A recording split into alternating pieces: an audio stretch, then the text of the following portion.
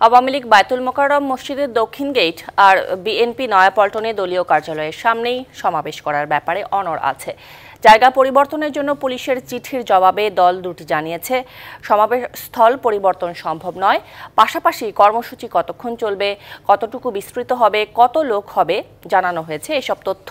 আওয়ামী লীগ বাইতুল মোকাররম মসজিদের দক্ষিণ গেটে এবং বিএনপি দলের নয়াপল্টনের কার্যালয়ের সামনে সমাবেশ করার অনুমতি চেয়ে পুলিশকে চিঠি দেয়। পরে পুলিশের পক্ষ থেকে এসব জায়গার পরিবর্তে সমাবেশের জন্য বিকল্প দুটি জায়গা প্রস্তাবের পাশাপাশি সাতটি তথ্য জানতে চাওয়া হয়।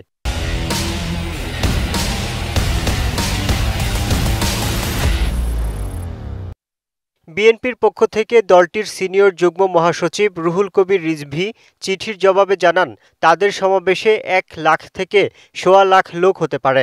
সমাবেশে নিজস্ব স্বেচ্ছাসেবক দায়িত্ব পালনের পাশাপাশি দুপুর দুইটায় শুরু করে সন্ধ্যা ছয়টায় শেষ করার ব্যাপারে অবহিত করা হয়।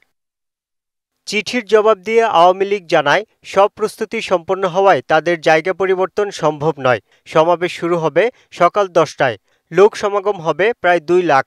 নিজস্ব স্বেচ্ছাসেবক কাজ করার পাশাপাশি সমাবেশে আওয়ামী লীগ ছাড়াও সহযোগী সংগঠনের নেতাকর্মীরা সমাবেশে যোগ দেওয়ার কথা জানানো হয়। Yusuf Rana, DBC news, Dhaka.